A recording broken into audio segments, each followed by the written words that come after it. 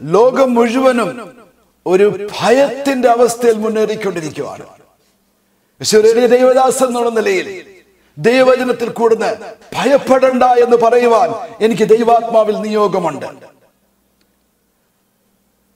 കർത്താവിന്റെ വചനത്തിൽ മത്തായ സുവിശേഷം ഇരുപത്തിമൂന്നാം അധ്യായം മുപ്പത്തിയേഴാം വാക്യം കർത്താവ് ഇങ്ങനെ പറയുവാണ് എന്റെ ജനത്തെ ചേർത്തുകൊള്ളാൻ എനിക്ക് ആയിരം വട്ടം മനസ്സാണ്.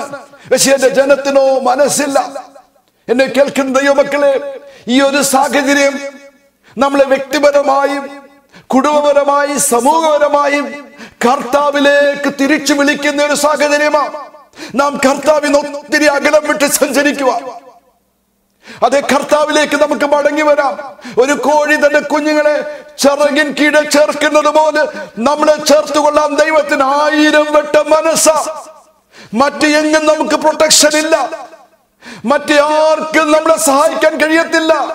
ദൈവത്തിന് മാത്രമേ സഹായിക്കാൻ കഴിയത്തുള്ളൂ. ദൈവത്തിന്റെ ചിറകിൻ കീഴിൽ മാത്രമേ നമുക്ക് സുരക്ഷയുള്ളൂ നമുക്ക് പ്രൊട്ടക്ഷൻ ഉള്ളൂ. എന്നാൽ നമ്മൾ അവിടേക്ക് മടങ്ങി വരണം. കർത്താവിലേക്ക് മടങ്ങി വരണം.